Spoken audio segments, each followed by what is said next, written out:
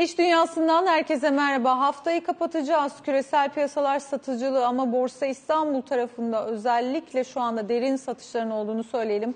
Haftayı kapatacağız. Biliyorsunuz pazartesi günü 1 Mayıs tatiliz. Kısa haftanın özellikle e, hafta sonuna giren piyasa hani risk almak istemeyen piyasa bakalım satıyor mu? Öğrenelim neden bu kadar derinleşti satışlar. Biz yüzde kayıplar yüzde dördü aştı. Banka hisselerinde düşüş yüzde beşe ulaştı. Soner Kuru bizlerle Marbaş Genel Müdür Yardımcısı. Hoş geldiniz Zeyna. Ne dersiniz? Merhaba, hoş bulduk. Ne dersiniz bu şu andaki satış dalgasına?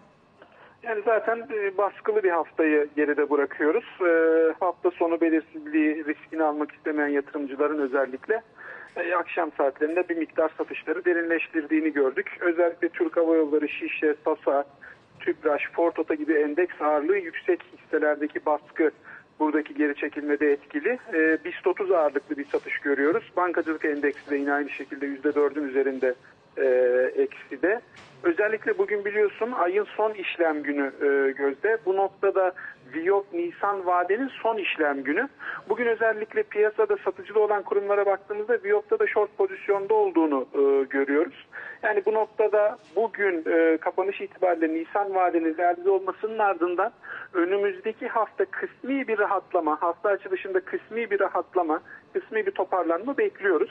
Ama genel itibariyle manzara seçim öncesi belirsizliği bu riski almak istemeyen yatırımcının e, piyasadan bir miktar çıkışıyla ilgili görünüyor. Bu zaten e, çok beklenmedik bir durum değil. Zaten bütün e, raporlarda aşağı yukarı seçim öncesi bu olası volatiliteden bahsediliyordu. E, burada şimdi 4700 kritik bir destek seviyesi. Hı hı. E, açıkçası burası kırılmış gibi görünüyor. E, bir sonraki güçlü destek seviyesi 4400 ve 4200 gibi görünüyor. E, artık bence kötünün kötüsünün fiyatlandığı noktalar. Artık yavaş yavaş güçlü destek seviyelerine doğru e, geldiğimizi ifade etmeliyim. Önümüzdeki hafta hafta başlangıcı bu Viyop vadenin tamamlanmasıyla birlikte bir miktar rahatlama bekliyorum. Yani salı günü tabii ilk işlem günü olacak. Dolayısıyla da bakalım vadeler tamamlandığında yani Viyop'ta özellikle şu anda mevcut durum biraz daha etkili oluyor diyorsunuz. E, takip edeceğiz. Çok çok teşekkür ediyoruz aktardıklarınız için. Şimdi özellikle tabii e, bugün gelen verileri iş dünyasına değerlendireceğiz. Tatilbudur.com yönetim kurulu üyesi Çetin Yılmaz konuğumuz. E, borsa gündemine elbette döneceğiz piyasa kapanışında ama biraz rakamları konuşalım. Hoş geldiniz Çetin Bey. Merhaba, hoş bulduk. Teşekkür ederim. Çok teşekkür ediyorum katıldığınız için. Şimdi ilk çeyrek aslında oldukça iyi rakamlar, pozitif görünüyor. Ama tabii yıl genelinde özellikle hani biraz deprem etkisinin ikinci çeyrekte olabileceği vesaire gibi vurgular da yapılmıştı.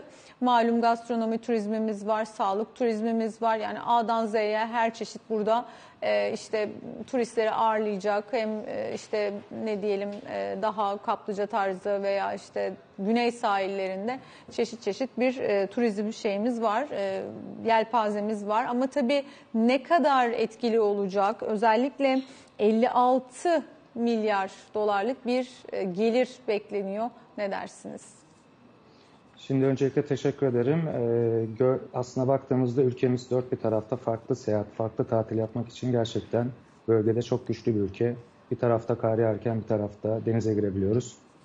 İç çeyrek rakamlarına baktığımızda yaklaşık %30 üzerinde bir büyüme öngörülüyor. Ve bu da aslında gerçekleşmiş durumda.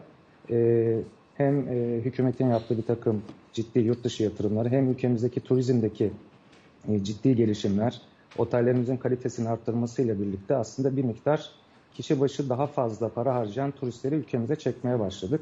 Geçen seneki rakamlarımız da bu anlamda gayet iyiydi. Aslında ülke olarak hepimizin amacı değerli turisti buraya getirebilmek. Kişi sayısından ziyade daha e, fazla para harcayan ve daha karlı olabilecek e, bir turist yapısını istiyoruz. Baktığımız zaman da rakamlar da bunu teyit ediyor. Yalnız şu anda içinde bulunduğumuz dönem tabii ki dediğiniz gibi ülkemizi derinden etkileyen bir deprem felaketi yaşadık bir dalgalanma yaşandı. Ancak uzun yıllardır Türkiye'ye gelen turistler depremin hangi bölgede olduğunu da çok iyi biliyorlar. Dolayısıyla o konu çok hızlı geçildi. Ee, tabii bayramın gelmesiyle beraber iç piyasa biraz hızlandı. Gördüğümüz ülkede sadece bir miktar Rusya'daki e, ruble krizinin ve e, total otellerdeki maliyet artışlarının üst üste gelmesiyle fiyat artışları bir miktar o bölgedeki satın almanın düşmesiyle beraber Türkiye'ye biraz gelmesini geciktirecek ama toplam bütün sezona baktığımızda bu sene yine turizmde bir rekor yılı olacağını şimdiden görebiliyoruz. E peki özellikle e, kişi başı harcamalarını nasıl değerlendiriyorsunuz? Gelen rakamlara baktığınızda hani özellikle nasıl bir görünüm var? Yani bunu tabii biz uzunca bir süredir artırmak için özellikle çabalıyoruz ama bir de tabii şöyle bir durum var. Burası işte kurun baskılanması dolayısıyla aslında biz hani döviz bazında değerlendiğimiz için her anlamda her yerde hani diyorlar ki işte bazı destinasyonlar mesela Avrupa'da ya da işte daha Orta Doğu bölgelerinde daha cazip, avantajlı işte müşterinin ya da turistin oraya kaçabileceğini çok ifade ediyorlardı. Katılıyor musunuz? Nasıl bir durum var? Şimdi tabii buna kısmen katılıyoruz. Şöyle özellikle çevremizde Mısır gibi ülkelerde ciddi bir rekabet oluşmaya başladı. Daha önce hava yollarının akses olmadığı bu bölgeler yavaş yavaş e, uçaklarla beraber hareketlendi ve orası da o bölgelerde daha önce turizmdeki kısa kaldıkları rakamları rekabette fiyatta biraz aşağı çekerek tabii bir, bir miktar alıyorlar ama biz Türk tar Türkiye tarafında her zaman daha kaliteli müşteri az önce de söylediğim gibi daha iyi fiyatlı oteller satmaya çalışıyoruz. Bu bir geçiş süreci. Bu geçiş sürecinde e, tesislerimizin de tabii kalitesini ve hizmet kalitesini özellikle üst seviye çıkması, çıkarması gerekiyor ki o kaliteli dediğimiz daha çok para harcayan turisti ülkemize getirebilelim. Bu geçiş sürecinde belki böyle ufak tefek e, kaymalar olabilecektir ama az önce de söylediğim gibi yılın tamamında 2023 yılının toplamında e, bir önceki yılın çok üzerinde yaklaşık %30-35 üzerinde bir e, turistin ülkeye gelmesini ve kişi başı harcamaların da yaklaşık %17 ile 22 arası yükselmesini bekliyoruz. Bunu bir geçici durum olarak öngörüyoruz. Tabii yine de her daim e, online dünyadayız. Fiyatlarımızı, rakamlarımızı her daim takip etmek durumundayız. Ediyoruz da olası bir fiyat güncellemesi gerektiğinde sektör olarak zaten buna tüm e, otelci ve acentalar hazır durumda. Çok sıkı yakın takiple izliyoruz. Şu anda bir risk görmüyoruz. Peki özellikle hangi bölgelere daha çok e, burada hani beklersiniz turistin gelmesini ya da yine ön plana çıkacak ülkeler arasında Rus turistleri mi göreceğiz? Ne dersiniz? Hani biraz tabii farklı destinasyonlara da gidemedikleri için hani Türkiye'de çok cazip geliyor. Neticede çok fazla buraya göç eden de oldu, vatandaşlık alan da oldu. Ne dersiniz? Şimdi tabii e, ülkemizin en gözde şehri ve en ciddi yatak kapasitesi Antalya. Her zaman olduğu gibi yine Antalya ön planda gözüküyor. Yavaş yavaş Ege'yi de keşfetmeye başlıyor yabancılar. Ancak hani e, gelecek ülkelere baktığımız zaman Rusya e, geçen seneki tabii Ukrayna krizi, bu seneki de finansal içinde bulundukları e, paralarının değer kaybetmesinden kaynaklı durumdan ötürü hala istediğimiz bundan 2 yıl 3 yıl önceki o 10 milyonlu rakamlara gelmesini çok olası görmüyoruz. Ama tabii son yıllarda yine Türkiye olarak iyi başardığımız çeşitlilik, e, ülke bazındaki çeşitlilikte bu sene biz özellikle bakanlığın da verdiği verilere bakarak Amerikalı turistlerin ve Avrupalı turistlerin daha fazla geleceğini görüyoruz. E, aslında bu da çok e, doğru bir strateji. Sadece bir ya da birkaç ülkeye Türk turizmine bel bağlamaktansa çeşitlilik, daha fazla ülke, daha fazla kıta, sadece Avrupa değil Amerika kıtası gibi ülkeleri de ülkemize getirmek adına çok önemli çalışmalar yapılıyor. Onların da meyvesini görüyoruz. Dolayısıyla dediğim gibi bu sene Rusya'dan yine beklediğimiz rakamlar olmayacak ama onun daha üzerinde Avrupa ve Amerikalı turistleri ülkemizde ağırlayacağız gibi gözüküyor. Peki fiyatlamalar şu anda özellikle paket turlarda bir haftalık e, fiyatlar nasıl gözüküyor? Geçtiğimiz seneye göre baktığınızda nasıl değişme var? Gıda enflasyonu bizde tabii ki dünyadan biraz ayrışıyor. Yani FAO gıda fiyat endeksi düşerken Türkiye'de özellikle tabii içeride maliyetlerin artması vesaire burada maalesef gıda fiyatlarını artık Doğru. kronik hale getirdi. İşte turizm sezonu olduğunda bunun da etkisi oluyor üzerinde. Dolayısıyla hani eminim ki işte toplu alımlar, bir takım işte sözleşmeler vesaire hani turizmcileri biraz rahatlatıyordur ama neticede geçtiğimiz seneye göre ciddi artışlar yaşandı. Çok haklısınız evet. Şimdi tabii orada e, maliyetler özellikle e, turizm sektörünün ana maliyetleri siz de biliyorsunuz. İnsan kaynağı, e, tabii ki elektrik, doğalgaz e, ve e, gıda maliyetleri. Bunların da tamamı hem dünyada hem ülkemizdeki süre gelen enflasyondan dolayı olumsuz etkileniyor. Tabii bu biraz önceki konuştuğumuz konular daha çok e, yurt dışından gelen turistlerde ama bir miktar iç piyasada dönecek olursak içerideki iç turizmdeki Türk, Türk e, turistler, Türk yolcularımız için de e, aslında bu biraz dezavantaj gibi gözüküyor. Biz burada her daim şunu söylüyoruz. Erken rezervasyon Türkiye'de hala Avrupa'daki gibi alışılagelmiş e, düzeyde değil. Her sene tabii yukarı doğru gidiyor. Satışların içindeki payı %35'lere 40'lara geldi ama Bugün baktığınızda bir Avrupalı %65-70 daha hatta bazı ülkelerde 85 oranında bir, bir sonraki yılki tatilini bir önceki yıldan yapabiliyor. Biz de Türk müşterilerimize her zaman bunu söylüyoruz. Evet, peki. Geçen sene tecrübe ettik. Yaklaşık 3 kat çok daha ucuza aldılar. Hı hı. Bu sene de onun etkisiyle zaten çok ciddi bir erken rezervasyon talebi oluştu. Sektör olarak hem bankalar hem acentalar bizler de olabildiğince müşterilerimizin cebinden para çıkmadan 5 ay sonra ödemeye başla, işte 4 ay sonra öde, ondan sonra da 6 taksit öde gibi seçeneklerle aslında daha ucuza satın almalarını sağlayıp e, finansman açısından da tatile gitmeden para ödemeyecekleri şekilde bir organizasyon hep beraber yapmaya çalışıyoruz. Bunun da etkilerini çok pozitif şekilde görüyoruz. O yüzden ısrarla diyoruz ki hala hazırda da 4 ay kaldı belki tatile. Türkler biliyorsunuz Temmuz Ağustos'ta yapıyor. Bugün itibariyle e, çok da avantajlı fiyatlarla otelleri alabilme durumları var. Peki geçtiğimiz e, sene göre yüzde kaçlık bir artış var diyebiliriz paket turlarda? Yüzde Yaklaşık %20, %20 civarında bir artış Çok teşekkür ederim. Evet. Sağ olun. Biz teşekkür evet, ederiz. Kısa bir ara verelim. Aranın ardından devam edeceğiz.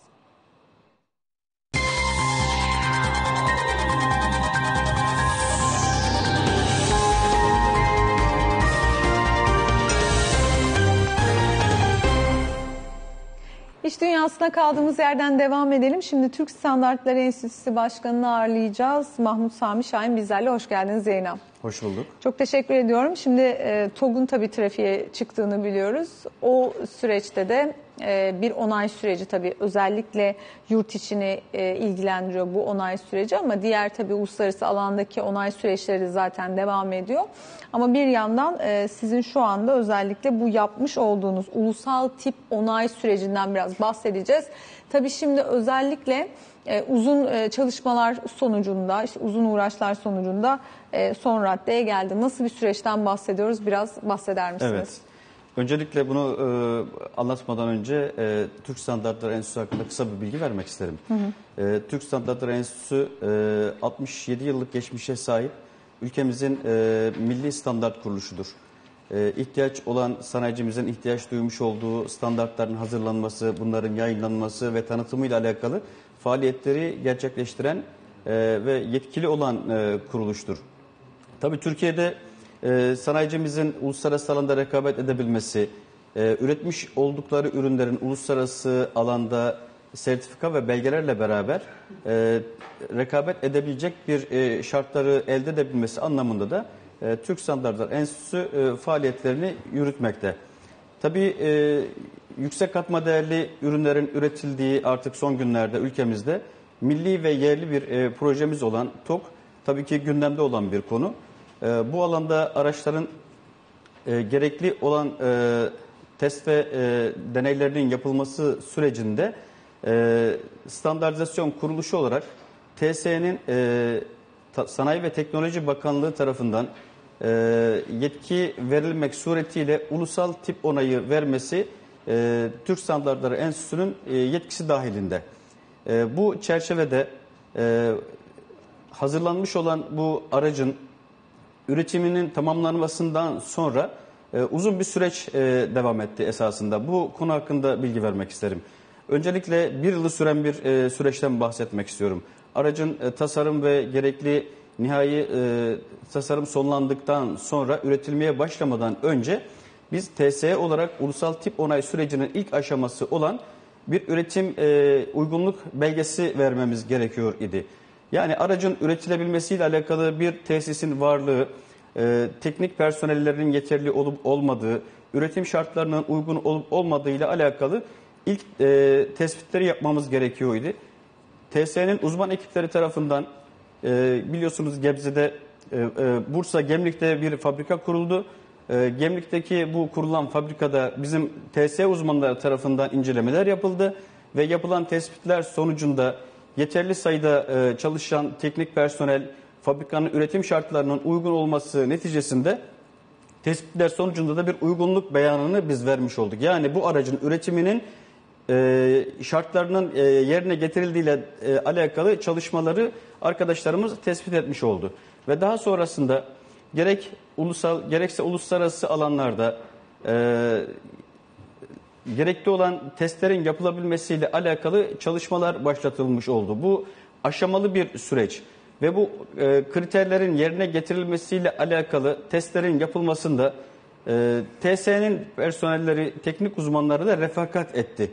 Ve sonuçta testlerin sonuçları alındıktan sonra bu belgelerin hepsi tek tek incelenmek suretiyle sonuçlarının alındığının ve nihai olarak bu aracın trafiğe çıkabilmesiyle alakalı bütün e, testleri geçtiğiyle alakalı sonuca varıldıktan sonra bu aracın bir ulusal tip onayı verilmesi gerekiyordu ve Türkiye'de trafikte dolaşabilmesiyle alakalı bu belgeyi de yetki dahilinde Türk Standartları Enstitüsü veriyordu.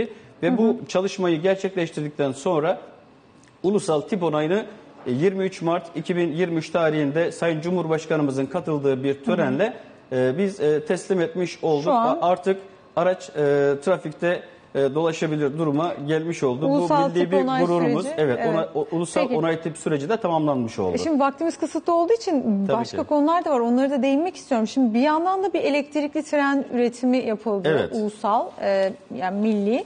E, Turası, Turasaş'ın e, üretmiş olduğu elektrikli trenden bahsediyorum elbette. E, bunun da bir onay süreci var. Ona da değinelim mi? Tabii nasıl ki TOG yerli ve milli bir araç olarak üretilip ulusal tip onay almışsa uzun süredir devam eden çalışmalar neticesinde geçtiğimiz günlerde e, bu da devreye alındı. E, yerli ve milli olarak üretilmiş olan e, bir e, tren setinden bahsediyoruz. E, bu da e, yine üretimi gerçekleşti. Turasaş e, Sakarya Bölge Müdürlüğü tarafından ve e, TCDD ve Aselsan işbirliğiyle e, yapılan çalışmalar sonucunda nihai ürün haline getirildi ve burada da biz TS olarak ulusal yeterlilik onayı verdik. Aslında baktığımız zaman TSE uluslararası alanda sertifikasyon konusunda Türkiye'nin dışa bağımlılığını ortadan kaldıran bir kuruluş haline geldi. Geçtiğimiz yıl demiryolu sistemleri ve araçları noktasında belge verme yetkinliğine haiz olan bir kurum haline geldi. Dolayısıyla artık Türkiye'de üretilen yüksek katma değerli milli projelerimizin belgelendirmesini yapabilen bir kuruluş haline geldik. Bu da aslında bizim için gurur verici. Ülkemizin yeni teknolojilerinin artık uluslararası alanda da geçerliliği olabilecek belgelendirmelerini yapmak suretiyle araçların hem yurt içinde hem yurt dışında hem ticari olarak satışının gerçekleşebilmesi hem de faaliyetlerinin yürütülebilmesiyle alakalı e, sertifikasyon konusunda Türk, Türk Standartlar Enstitüsü e, bu yetkisiyle birlikte araçların üretimine çok büyük katkı e, sunmaya devam ediyor. Bu arada Türk Standartları Enstitüsü'nün tabii bambaşka çalışmaları da var. Bir yandan hem tabii e, ulusal e, projelerin onay süreçleriyle ilgilenirken bir yandan da aslında e, başka yani sanayicileri destekleyecek farklı çalışmalardan bahsediyorum. Mesela Kalite Kampüsü diye bir çalışmanız Evet. var değil mi Ankara'da? E, Türkiye'nin hangi ihtiyaçlarını karşılayacak? Neden kuruldu? Aslında yeni Türkiye yüzyılına yakışır çok büyük bir projeyi başlatmış olduk geçtiğimiz yıl içerisinde. Sayın Cumhurbaşkanımızın ortaya koymuş olduğu vizyon çerçevesinde Türkiye'nin özellikle yüksek katma değerli ürünlerinin üretildiği bu süreçte artık laboratuvar ve test altyapısının da bir şekilde oluşturulması gerekiyor idi. Ankara'da Sincan bölgesinde, temelli bölgesinde yaklaşık 91 bin metrekare kapalı alanı olan 7 adet ayrı ayrı laboratuvarları e, e, bünyesinde bulunduran ve Türkiye'nin e, yüksek katma değerli üret- üretimlerinin, e, testlerinin e, ve kontrollerinin yapılabileceği çok geniş kapsamlı bir laboratuvar inşaatı, e, kalite kampüsü inşaatı devam ediyor. Aslında bu yapmış olduğumuz yatırım sadece ülkemizin ihtiyacını karşılamayacak.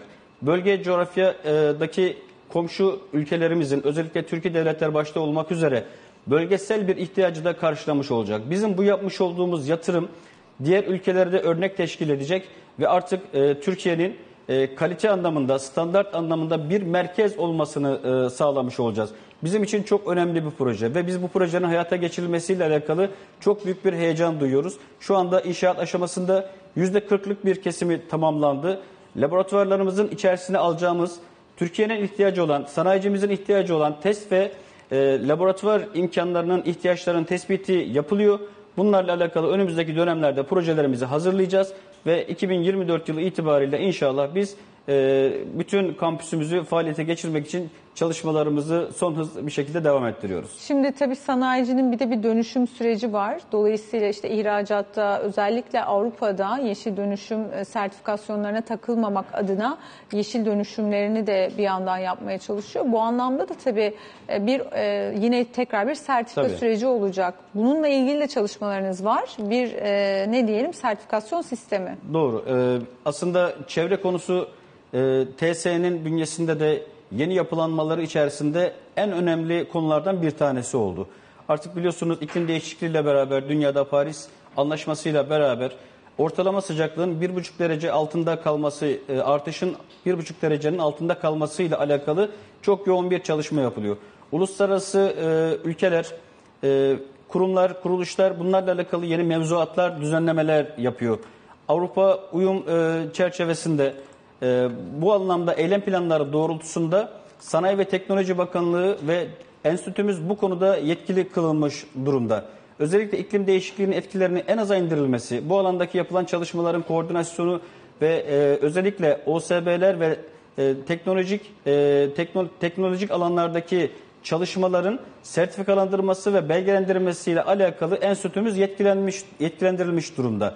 Geçtiğimiz günlerde bu yetki çerçevesinde Organize Sanayi Bölgeleri Kanunu'nda bir mecliste bir düzenleme gerçekleştirildi. Bu çok önemli bir düzenlemeydi. Hı hı. Özellikle OSB'lerin yeşil OSB sertifikasyon çalışmasıyla alakalı yapılan düzenlemeyle TSE yetkili kuruluş olarak Peki. belirlenmiş oldu. Burada önemli olan konu şu.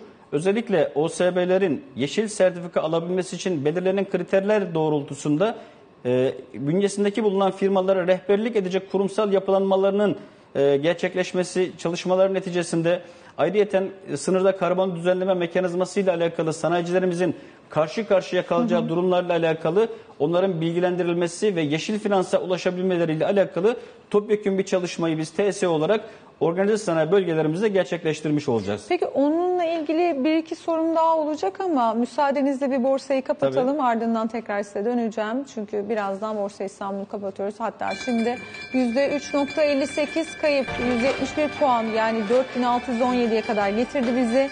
Ee, özellikle bankacılık endeksinde satışlar derinleşmişti. Bir bakalım şöyle endeks genelinde zaten satışlar olduğunu biliyoruz. TÜMOSAN %2.63'lük primle sınırlı bir iyimserlik. Fenerbahçe hisseleri yine e, Ereğli Demir Çelik, Global Yatırım gibi sınırlı sayıda hissenin yukarı yönde kapanışı gerçekleştirdiğini ancak e, endeks genelinde sert satışlar özellikle tabii 3 günlük bir tatil var. Yani kısa bir haftadan bahsediyoruz. Dönelim hemen soralım. Gözde Baladım bizlerle. Hoş geldiniz Zeynep. Ne dersiniz piyasalara ilişkin? Hoş buldum. Merhabalar. Son iki işlem gününde destek bulduğumuz 4750 desteğinin kırılmasıyla BIST 100 endeksinde düşüş bugün de devam etti ve endeks 4600 bölgesine kadar geriledi. 4600 yatay trendi önemli bir destek seviyesi. Ocak ayındaki sert düşüşte endeks bu seviyeden destek bulmuştu. Bu manada destekten tepki hareketi beklenebilir. 4600 desteği altında düzeltme hareketinin 200 günlük ortalamanın belirlediği 4400'e doğru derin, derinleşeceğini düşünüyoruz. E, haftaya çarşamba günü açıklanacak FED faiz kararı öncesinde global piyasalarda bilanço fiyatlamaları da sürerken Asya piyasalarında olumlu bir hava hakimdi. Asya'da bu sabah odak noktası Japonya Merkez Bankası'nın faiz kararıydı. Banka beklenti dahilinde para politikasında herhangi bir değişikliğe gitmezken para politikasını gözden geçirme kararı aldı.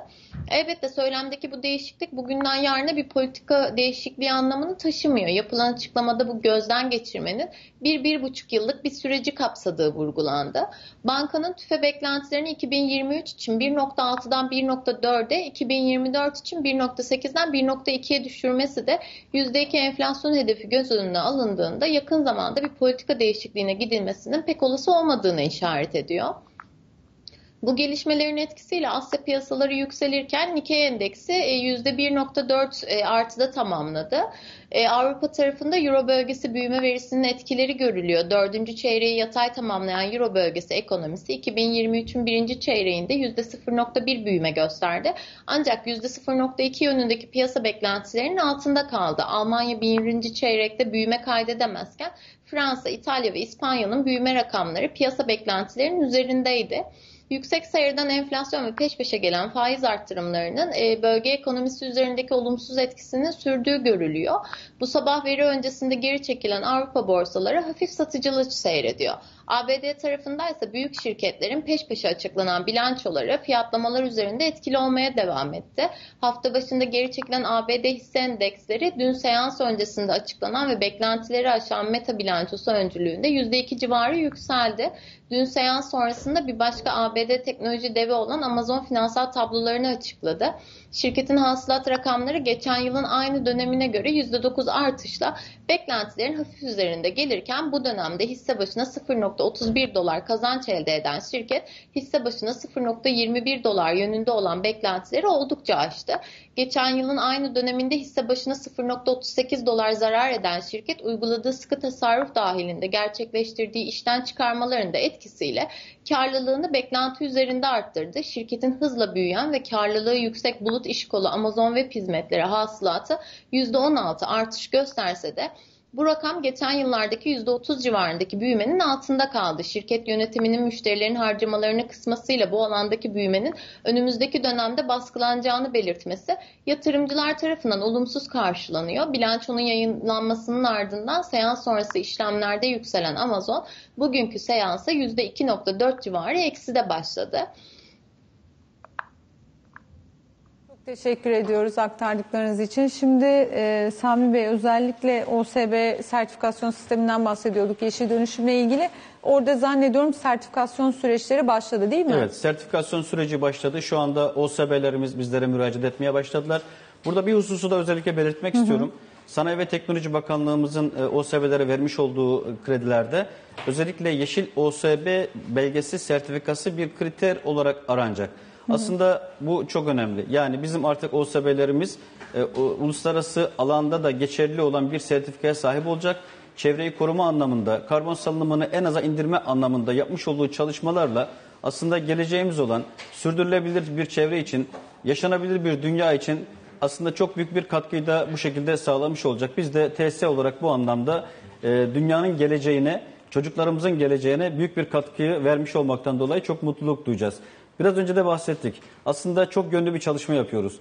Yani bir e, standartizasyon çalışmasının haricinde e, otomotivden tutun e, şu anda üretilen yerli yüksek teknoloji trenlerimize uluslararası alanlarda yapılan çalışmalarda sanayicimizin e, uluslararası alandaki çalışmalarına her zaman destek olan, onların kapılarını açan bir anahtar rolü üstlenen bir TSE'den bahsediyoruz.